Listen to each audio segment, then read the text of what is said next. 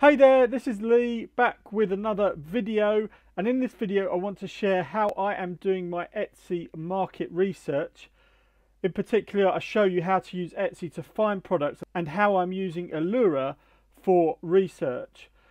This is the second of a series of videos where I'm launching my Etsy store and products from scratch. So if you didn't see the last video there's a link above to the first video in this series if you want to go and watch that.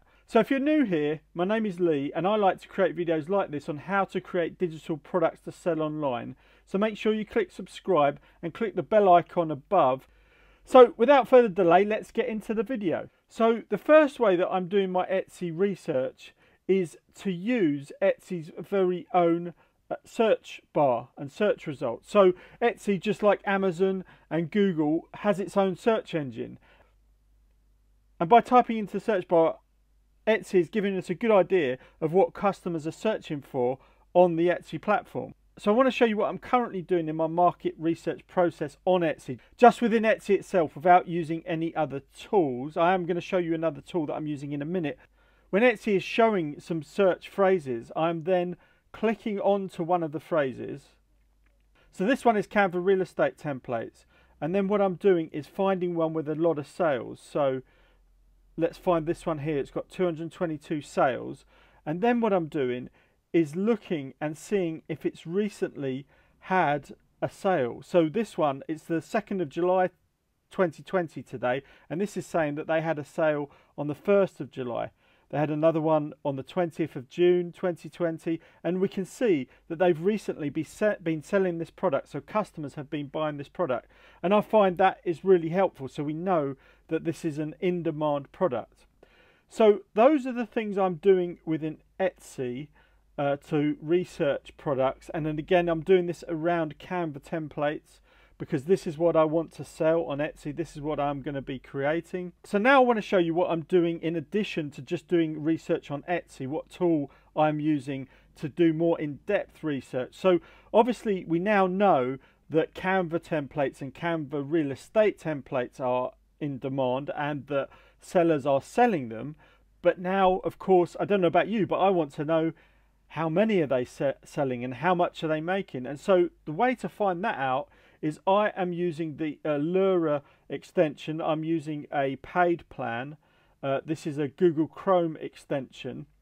This is going to show me all the different products that are on this page that are on Etsy and it is telling us how much they're selling for, how many times they've been favorited, how many sales they've had and how much revenue they've generated. And by simply clicking the arrows next to sales, we can see which product uh, is selling the most. So this one has sold 52 sales in the last 30 days and it's generated 944 pounds just from one product. And I, I think that's pretty good. I mean imagine if you could have a number of products like that selling i don't know between 500 to a thousand pounds. That that would be great. As digital downloads that's my goal that's my aim that's what i'm aiming for so one final thing I want to show you with the Alura extension that we can find out about a particular product and how it's selling is if we click onto a product and go to the page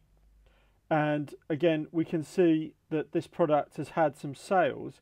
If I click on the Alura extension again in Chrome it will give me information on this particular product. So again it's telling me that it's had nine sales now, I contacted Alura and asked them how often their data is calculated through, and it, they said that all the data is of the last 30 days. So, this is showing us that this product has sold nine sales in the last 30 days. It's also telling us that it's generated 101 in revenue, been favorited 76 times.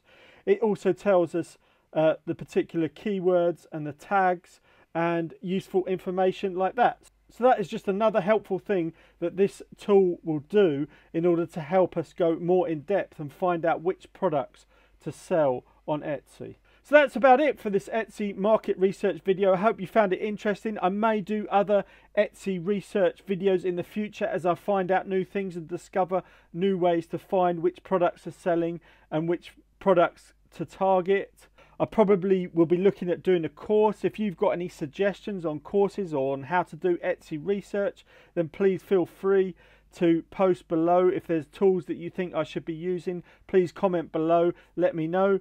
And make sure you subscribe if you haven't done so already. Hit the bell notification as I'm going to be doing more videos like this on starting on selling on Etsy, selling digital products on Etsy. And I'll see you in a future video. Cheers.